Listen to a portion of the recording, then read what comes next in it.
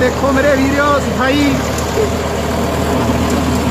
ਕਿਸਾਨਾਂ ਦੇ ਬਿਲਕੁਲ ਹੱਕ ਵਿੱਚ ਹੈ।